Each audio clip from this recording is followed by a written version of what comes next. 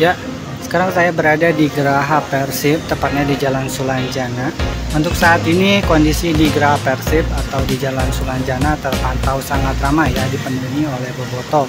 Jadi bisa dilihat ini puluhan kendaraan sudah memenuhi uh, tempat parkir Geraha Persib Bandung ya.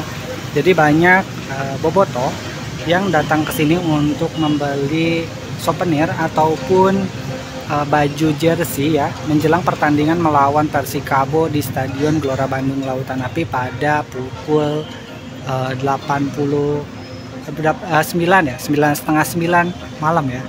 Jadi uh, mereka berbondong-bondong datang ke Geraha Persib Bandung ini untuk membeli jersey terbarunya Persib Bandung yang uh, bertemakan retro tahun 90-an ya jadi ini seperti ini bahwa sudah dan niatnya akan digunakan pada pertandingan nanti malam ya pukul 20.30 waktu Indonesia bagian barat.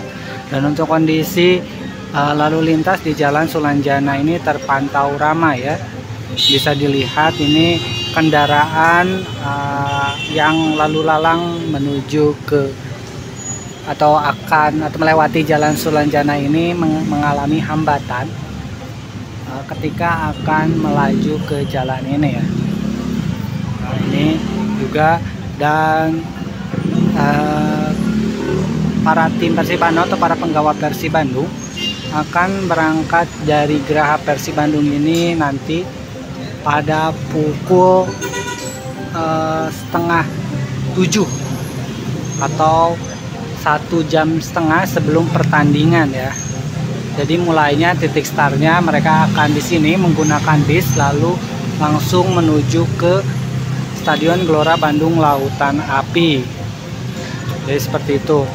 Dan untuk susunan pemain itu belum diketahui siapa saja yang akan bermain tapi yang jelas e, dari kiper itu ada Imade Wirawan yang dipastikan akan tampil sekaligus akan menjadi laga terakhir baginya di Persib Bandung atau di dunia sepak bola ya.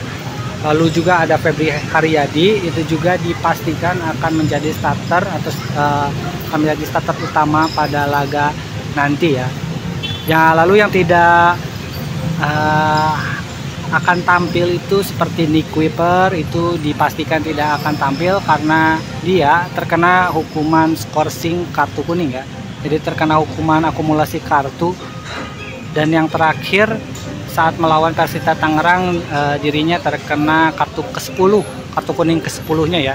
Jadi dipastikan tidak akan hadir. Lalu juga ada Beckham Putra Satrio Azar lalu ada juga Jalnando dan David Kevin Rumake itu juga dipastikan tidak bisa tampil pada laga terakhir versi Bandung ya. Untuk Beckham Putra dan Satrio Azar itu dipastikan tidak akan tampil karena dirinya di dipanggil oleh timnas Indonesia untuk melaksanakan atau melakukan technical center ya atau TC bersama timnas Indonesia untuk mempersiapkan diri di ajang SEA Games 2023 di Kamboja ya. ya. Jadi inilah suasana di Geraha Persi Bandung jelang pertandingan Persi Bandung versus Persikabo 1973.